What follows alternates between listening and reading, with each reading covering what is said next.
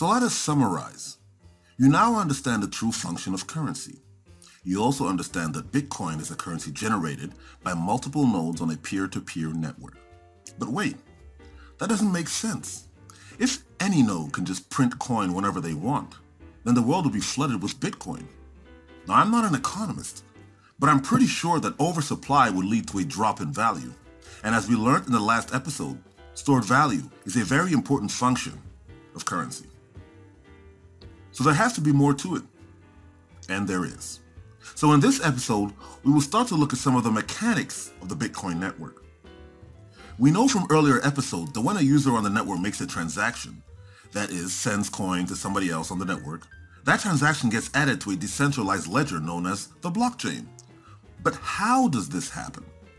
Let's take an example. Let's say John sends three Bitcoins to Jenny. This transaction gets sent out to every node on the Bitcoin network and the different computers are running specialized Bitcoin software that allows them to check that this transaction has aside a certain set of rules. If the transaction satisfies these rules, it is approved and each node will add the transaction to a pool of other recent transactions that have also been approved. This is known as a block. It should be noted that because of geographic location of the nodes and the time it takes for packets to traverse the networks, it is possible that each node may not have exactly the same transactions in their block, but they will be very, very close. Once the transactions have been added to a block, each node will start to solve a mathematical formula. This process is known as mining. The first node to solve the formula will have their block added to the blockchain. They will also receive a reward of bitcoins and all the transaction fees from the transactions in their block.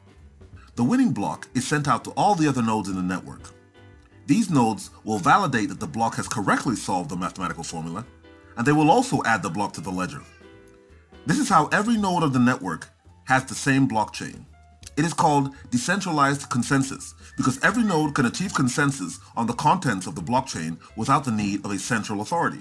The mathematical formula is solved approximately every 10 minutes. Now details of this formula will be discussed in later episodes, but for this episode, just know that every 10 minutes, a new block is added to the blockchain. Now, as more computers join the network to solve the mathematical equation in hopes of winning Bitcoin rewards, the difficulty of the equation is adjusted to make sure the 10 minute per block timeline is maintained. Therefore, as faster computers with stronger computing power join the network, the equation gets harder. In 2009, you used to be able to mine for Bitcoin with a regular laptop. You can't do that anymore. The reward issued to the node that solved the equation serves as an incentive to miners for taking on the responsibility of providing computer power needed to mine for Bitcoin and secure the network.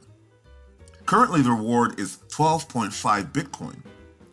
This number is cut in half every four years, and by the year 2141, there will be no more Bitcoins issued. At that point, there should be approximately 21 million Bitcoins in the ecosystem. In 2009, the reward was 50 Bitcoin, in 2012, it fell down to 25 Bitcoin, and in 2016, it dropped to 12.5 Bitcoin, which is the current reward issued at the time that this video was recorded. Whew, that's a lot of information. So why don't we take a break right here? In the next episode, we will do a lab and give you guys a live look at the blockchain in action.